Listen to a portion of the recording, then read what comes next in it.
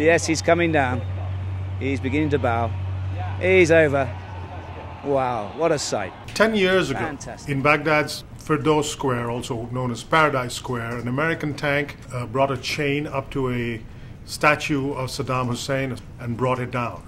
And that was a seminal moment. It marked the end of the principal fighting in the Iraq War. And from that moment onwards, uh, Iraq, Baghdad was liberated and Iraq was, at least notionally, free.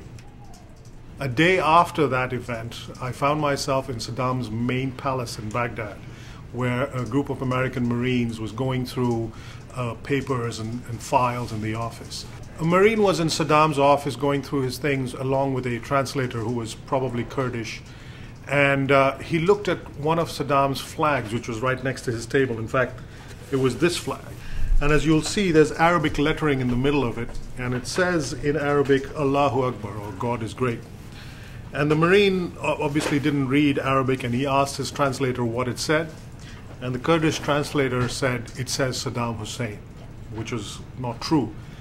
And the Marine then takes his flag and runs out to the, to the porch of the palace where there are hundreds of Iraqis have gathered and are actually cheering the Americans at this point.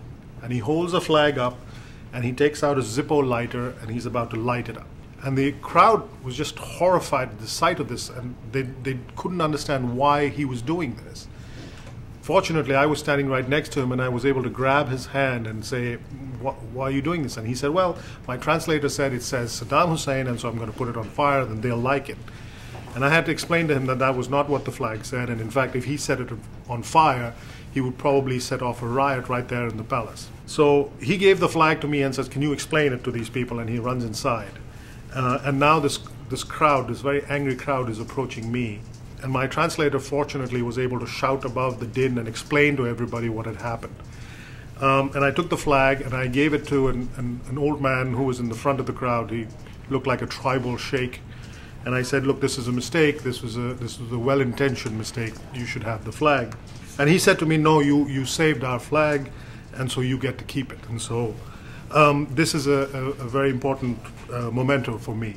But that incident was also for me a, a sign of things to come over the next several months because of an absence of understanding from both sides, American as well as Iraqi, tremendous mistakes were made in Baghdad, in Iraq, and those mistakes, like the like the firing of the entire Iraqi army, like the uh, criminalization of the Baath Party, like leaving the borders unattended, these mistakes would have enormous consequence over the next five or six years of Iraq's history. It would let in Al Qaeda, it would strengthen the insurgency, and it would cost Americans and Iraqis a huge amount of money as well as an enormous amount of blood. Um, Ten years later, Iraq is still today struggling with some of the consequences of misunderstandings like the one that nearly led to this flag being burnt.